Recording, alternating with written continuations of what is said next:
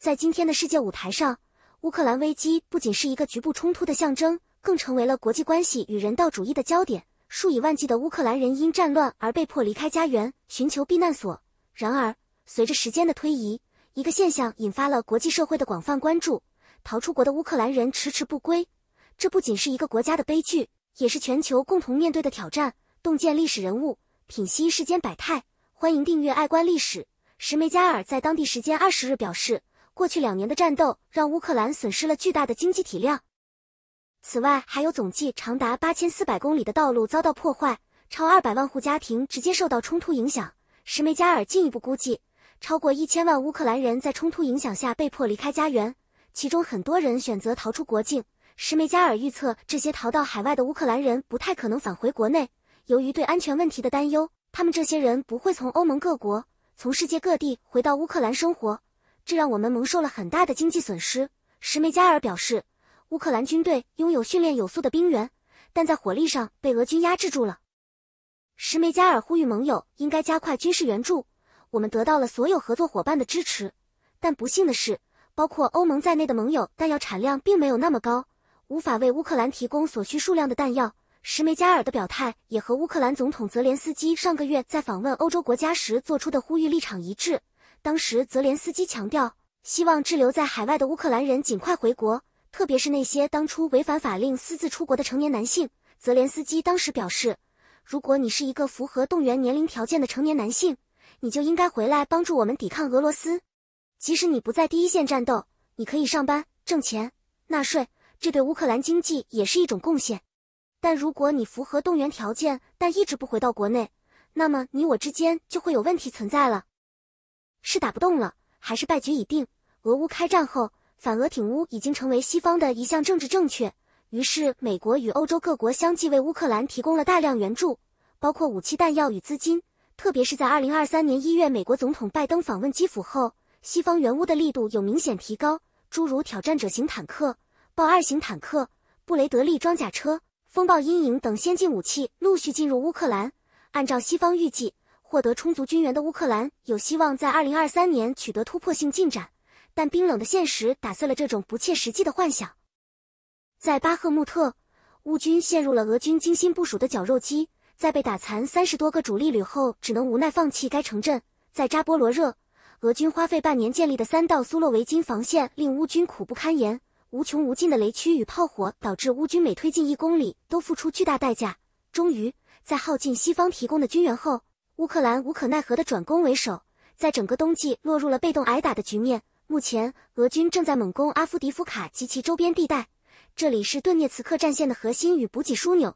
一旦乌军部队从这里撤离，那么未来乌克兰几乎不可能通过军事手段收复乌东四州。不过，对于缺乏武器弹药的乌军来说，继续坚守意味着重蹈巴赫穆特绞肉机的覆辙。西方援乌信心下滑，在乌克兰陷入军事失败的阴影后。西方对于援助乌克兰的信心也出现了下滑。进入二零二四年后，拜登向国会提出了一份价值六百亿美元的援乌计划，但该计划遭到了共和党人的强烈反对，最终并未获得通过。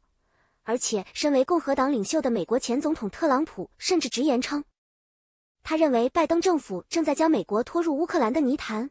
不仅是美国内部对援助乌克兰产生了质疑，欧洲也不例外。在二零二三年十二月的欧盟会议上。匈牙利总理欧尔班动用一票否决权，导致法德提出的五百亿欧元援乌计划未能通过。从表面来看，投反对票的似乎只有匈牙利，但其实匈牙利代表的是一部分欧盟国家的真实立场，只不过他们碍于援乌的政治正确，不便公开投反对票而已。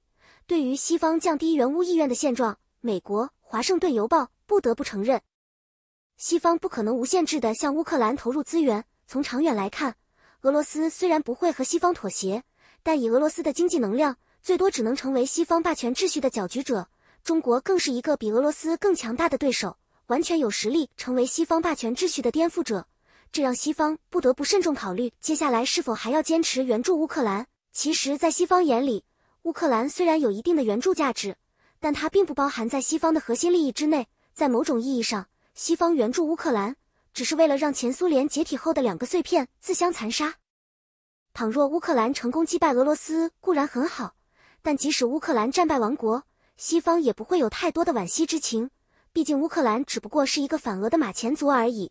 乌克兰的命运走向何方？需要指出的是，即使现在的泽连斯基政府是西方的马前卒，但乌克兰人民却是无辜的。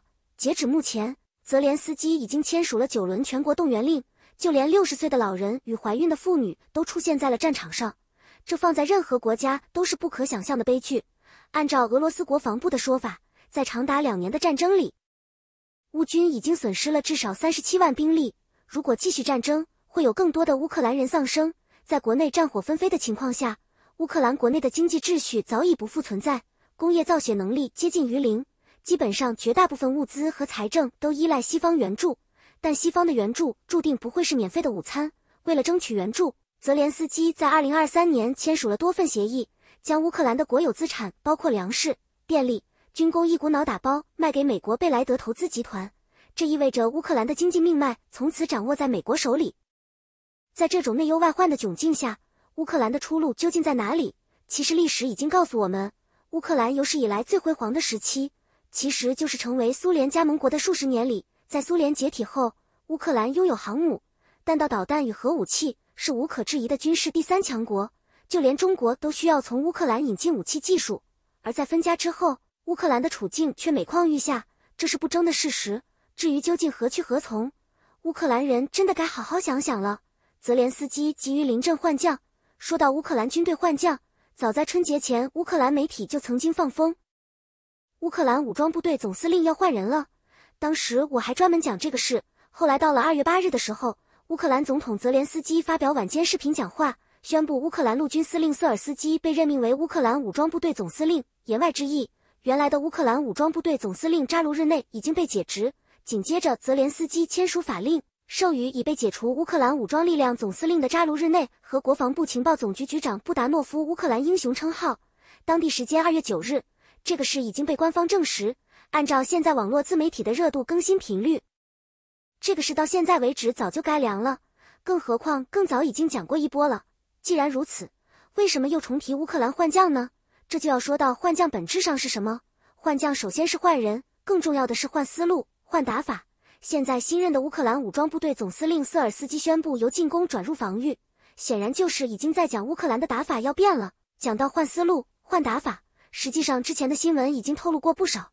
最早一波讲要撤换扎卢日内的时候，那个时候顺便透露了这样一个信息，说是泽连斯基在准备撤换扎卢日内的时候，考虑让国防部情报总局局长布达诺夫担任新的武装部队总司令职务，但是遭到了布达诺夫的拒绝。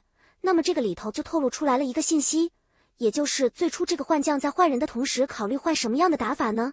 让情报总局局长担任总司令，显然这意味着在打法上很大程度上要倚重情报总局了。此前的作战当中，情报总局打过哪些所谓的漂亮仗呢？基本上在战线之后，在俄罗斯方向的纵深进行的袭击，无一不是情报总局策划和实施的。是不是可以理解最初换人的时候准备换上来的打法？